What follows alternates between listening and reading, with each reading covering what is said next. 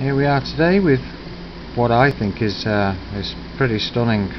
It may be normal, and uh, I must say thanks to Zooty actually for uh, alerting me to a couple of things I had no idea about uh, to do with SSG circuits.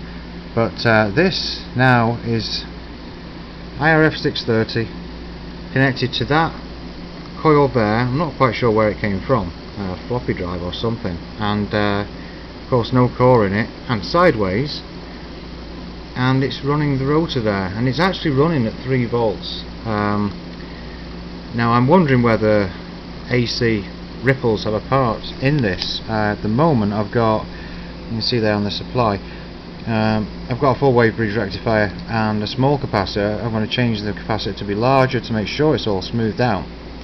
Uh, but I will be trying a battery on this because I can't really think how this transistor, well this MOSFET is now switching. Um, it is rather difficult to start. It'll, there's not a chance I wouldn't think at 3 volts here.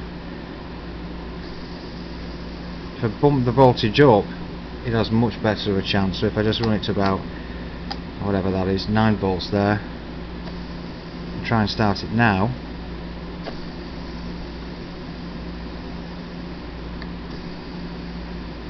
Hopefully it will. See, it's, it's just it's not very reliable at all. It just kind of proves something, I guess, of uh, how little is needed to uh, to run the pulse motor.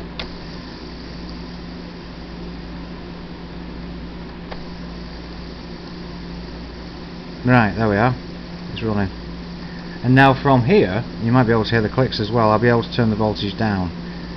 So there's one click down.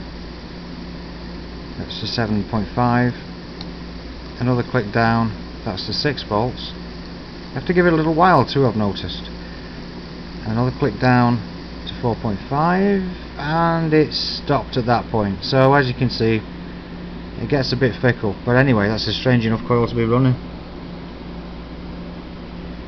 Okay thanks for watching